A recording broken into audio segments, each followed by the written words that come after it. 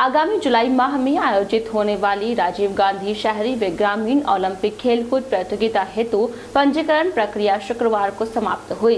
Patel school में स्थापित नियंत्रण कक्ष में उक्त प्रक्रिया को अंतिम रूप दिया गया। नियंत्रण कक्ष प्रभारी नेमित चंद यादव ने बताया कि खेलकूद प्रतियोगिता हेतु बच्चों के पंजीकरण आमंत्रित किए गए थे। पूर्व में पंजीकरण की अंतिम तिथि 15 जून थी, जिसे बढ़ाकर 23 जून किया गया था। पंजीकरण को लेकर इस बार बच्चों में खासा उत्साह देखने को मिला। जवाजा ब्लॉक के 46 पीओ और तीन यूसीओ के निर्देशन में कुल तेरह हज़ार इकतालीस पंजीकरण किए गए, जिसमें ग्रामीण क्षेत्र में छात्र वर्ग में से बावन आवेदन, वही छात्रा वर्ग से सैतालीस आवेदन प्रस्तुत किए गए। इसके अलावा शहरी क्षेत्र में दो हज़ार तिरासी छात्र और नौ छात्रा वर्ग हेतु तो कुल तीन हज़ार तीस पंजीकरण किए गए। अंतिम तिथि होने के कारण पंजीकरण प्रक्रिया को पूर्ण कर लिया गया है। अब आगामी माह में होने वाले खेलकूद प्रतियोगिता के मद्देनजर सरवीना सहित आसपास के पाँच से अधिक खेल मैदान को चिन्हित कर आगामी प्रक्रिया प्रारंभ कर दी गई है।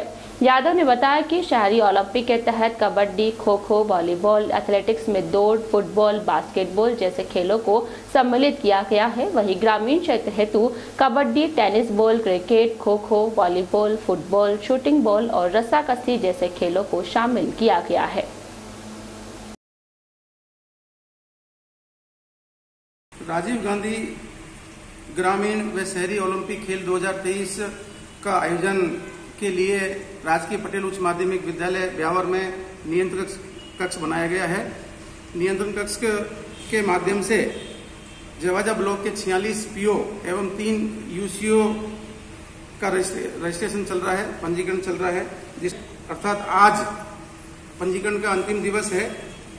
आज पंजीकरण के अनुसार ग्रामीण खेल में पंजीकरण की स्थिति इस प्रकार है। हमारा जो अपडेट है वो शहरी 3030 और ग्रामीण 10011 है।